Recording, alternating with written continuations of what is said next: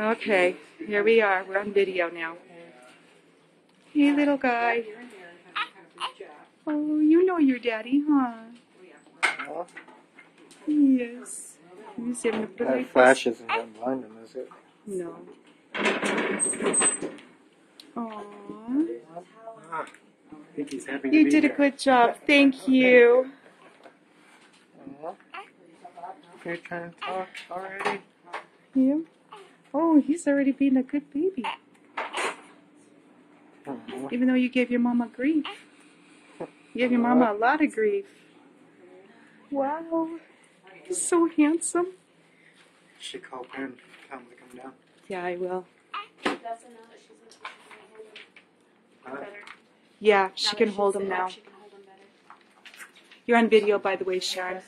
Huh? My name's Lori. Hi. Are you Oh, okay? Yeah, I'm, I'm good. Want me to take the blood? Uh, Everything? Pretty much everything. happy. Lori? Yes. Do you need juice? I need everything. Okay. oh, there's mama. Mama and baby. Good. Look at he's being so good. I told you, I said watch when he's born, he's not gonna cry, he's just gonna start.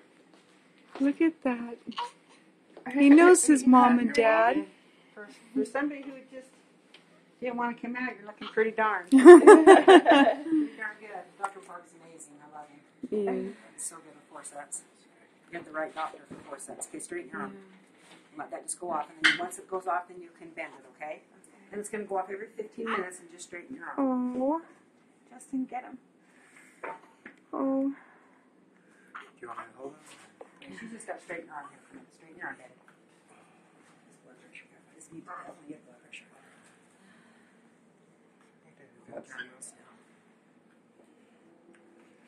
you seem like the happiest little guy. Yeah, now he knows who's been tormenting him this whole time. Oh, Just had to come one day early, huh? he did. Just make your little point. Do you think if There it is. I wonder if he's hungry? Do you think so? There we go. Yeah.